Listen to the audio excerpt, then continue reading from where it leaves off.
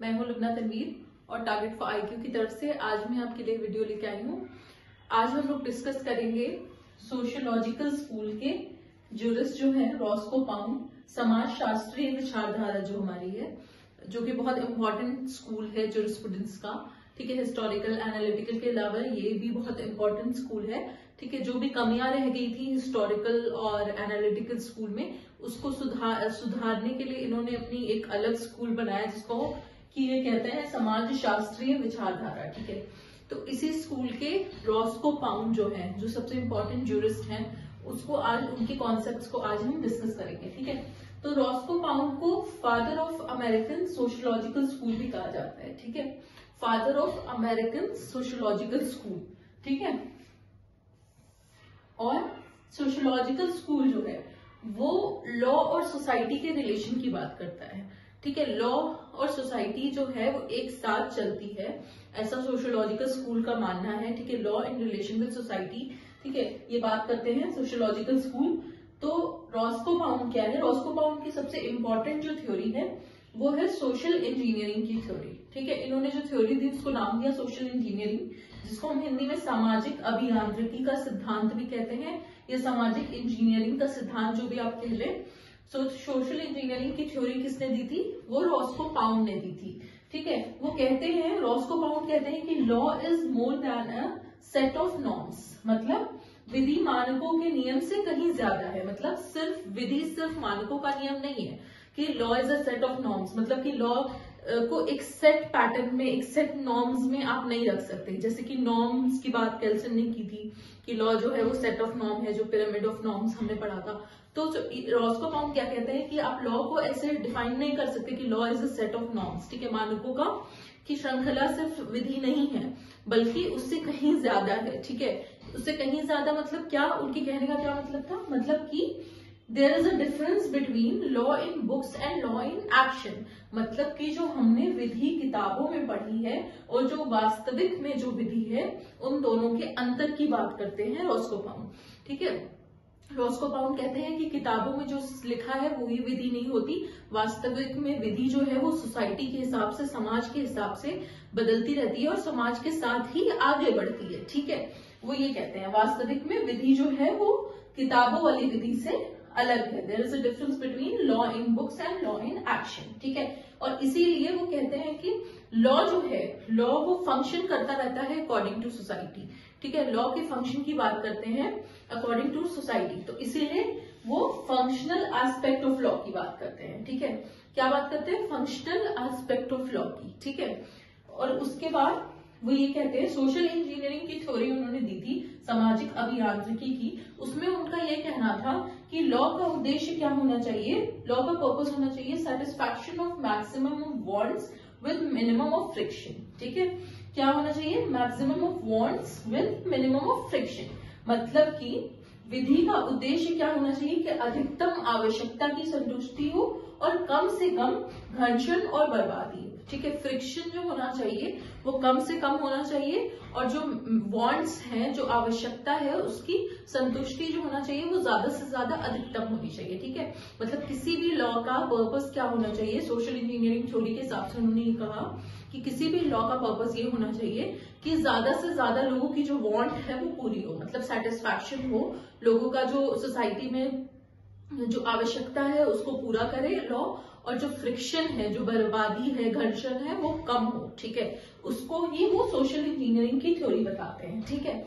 ये हो गई एक इंपॉर्टेंट थ्योरी की सोशल इंजीनियरिंग की थ्योरी रॉस्को पाउंड ने दी थी। दूसरी बात जो वो करते हैं, वो प्रोटेक्शन ऑफ़ इंटरेस्ट की बात करते हैं मतलब हितों की सुरक्षा की बात करते हैं, ठीक है?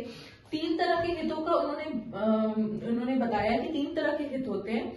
एक होता है इंडिविजुअल दूसरा सोशल और तीसरा पब्लिक ठीक है? व्यक्तिगत हित, सामाजिक हित, सार्वजनिक हित, ठीक है? ये तीनों तरह के इंटरेस्ट की वो बात करते हैं। और वो क्या कहते हैं? वो ये कहते हैं कि फ़ंक्शन ऑफ़ लॉ जो है, जो लॉ का उद्देश्य है, वो ये है बैलेंसिंग ऑफ़ इंटरेस्ट ठीक है? मतलब ये जो तीन तरह के इंटरेस्ट हैं, व्यक्तिगत हित, सामाजिक हित, सार्वजनिक हित इनकी सुरक्षा करना ही, इनको बैलेंस करना, इनको हार्मोनाइज करना, ठीक है? इनका संतुलन जो है वो मेंटेन करना, नियंत्रण करना, ही जो है वो लॉ का उद्देश्य होना चाहिए, ठीक है? तीनों हितों को अलग अलग उन्होंने डिफाइन किया और उन्होंने कहा कि function of law is to protect these interest social public and individual ठीक है? प्रोटेक्शन ऑफ़ इंटरेस्ट की उन्होंने बात की सोशल इंजीनियरिंग की थ्योरी दी और बोलते हैं वो कि ये जो इंटरेस्ट की जो थ्योरी उन्होंने दी है, जो हितों की सुरक्षा की बात की है, वो एक तरह का एक्सपेरिमेंट है, ठीक है? इसीलिए इसीलिए उनके कॉन्सेप्ट को, उनके जूरिस्प्रूडेंस को सी के एल ने एक्सपेरिमेंटल जूरिस्प्रूडेंस भी कहा है, ठीक है? क्या कहा है सीके एल ने? एक्सपेरिमेंटल जूरिस्प्रूडेंस ठीक है? दिस इज़ वेरी इंपॉर्टेंट कि सी के एल ने क्या कहा? कि ये प्रायोगिक न्याय शास्त्र की बात करते हैं। रोस्को पाउंड क्या बात करते हैं? प्रायोगिक न्याय शास्त्र मतलब एक्सपेरिमेंटल जूरिस्प्रूडेंस ठीक है, एक तरह का एक्सपेरिमेंट कर रहे हैं।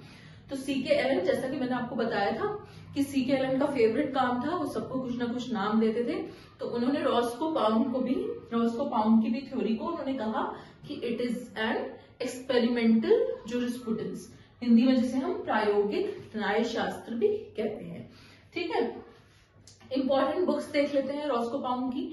इंपॉर्टेंट बुक्स है, सबसे पहले तो है स्पिरिट ऑफ़ कॉमन लॉस ठीक है, यहाँ पे कंफ्यूज नहीं होना है क्योंकि मॉन्टेस्क्यू का भी मैंने आपको बताया था कि स्पिरिट ऑफ़ लॉज उनकी जो बुक है उसका नाम स्पिरिट ऑफ़ लॉज है और रॉस्को पाउंड की जो बुक है उसको स्पिरिट ऑफ़ कॉमन लॉज कहते हैं। ठीक है, दूसरी बुक है an introduction to philosophy of law ठीक है an introduction to philosophy of law तीसरी बुक है लॉ एंड मॉरल्स ठीक है spirit of common laws and introduction to philosophy of law law and morals ये तीन बुक है रॉस्को पाउंड की, जो इम्पोर्टेंट है, ठीक है?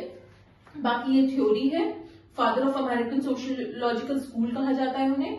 उन्होंने कहा कि law is more than set of norms विधि मानकों के नियम से कहीं ज़्यादा है, ठीक है? उन्होंने कहा कि लॉ इन बुक्स और लॉ इन एक्शन में डिफरेंस होता है, किताबों में जो विधि दी गई है और वास्तविक में जो विधि है, उसमें दोनों में अंतर है, ठीक है? फंक्शनल एस्पेक्ट की बात की कि लॉ जो है सोसाइटी के साथ फ़ंक्शन करता है लॉ का जो फ़ंक्शन है वो कुछ और है और किताबों में कुछ और होता है, ठीक है? तो सोसाइटी के सोसाइटल एस्पेक्ट की और फंक्शनल एस्पेक्ट की बात की उन्होंने। और फिर उन्होंने कहा कि जो सोशल इंजीनियर इंजीनियरिंग की थ्योरी थी, उसमें उन्होंने कहा कि लॉ का उद्देश्य क्या होना चाहिए कि मैक्सिमम ऑफ़ वॉन्ट्स होना चाहिए minimum with minimum of friction मतलब अधिकतम आवश्यकता की संतुष्टि होनी चाहिए और कम से कम घर्षण और बर्बादी होनी चाहिए। प्रोटेक्शन ऑफ़ इंटरेस्ट की रॉस्को पाउंड बात करते हैं। फ़ंक्शन ऑफ़ लॉ उनके हिसाब से क्या है? Protection of interest balancing of interest harmonising the conflict of interest मतलब ये जो तीनों इंटरेस्ट है इंडिविजुअल सोशल एंड पब्लिक व्यक्तिगत, सामाजिक और सार्वजनिक हितों में जो कॉन्फ्लिक्ट है, ठीक है, उसकी, उसको हार्मोनाइज उसको दूर करने की वो बात करते हैं। बोलते हैं कि लॉ का फ़ंक्शन ये होना चाहिए कि इन तीनों की जो डिस्प्यूट है, उसको वो खत्म करे इंटरेस्ट के, ठीक है।